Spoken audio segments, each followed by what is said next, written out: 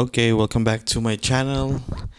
Ito po ang Kramer Focus V211S review, demo, and setup.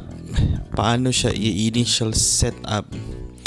Because I've seen a lot of channels say telling me that it's a bad instrument. I actually believe ano lang siya kulang lang siya ng proper setup. So the following video will show how I set this set it up and kung ano man ang result will be at the end of the video. And for 7,600 pesos, this is a very good instrument because it's mahogany and maple already. Plus the pickups are actually they sound really really good. Um, for me, this is a very good uh, instrument for 7,600 pesos. What is that? Around $120.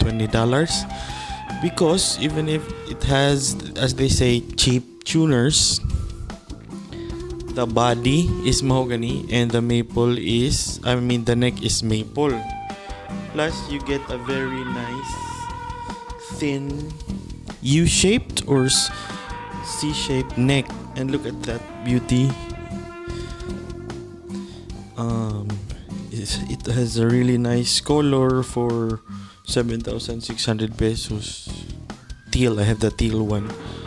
So the next vid- few videos uh, the next part of this video will be i will be showing you how i set it up and how to minimize tuning uh, problems um, copper shielding humming like that right stay tuned and then at the end of the video i'll be showing you how it sounds like after the setup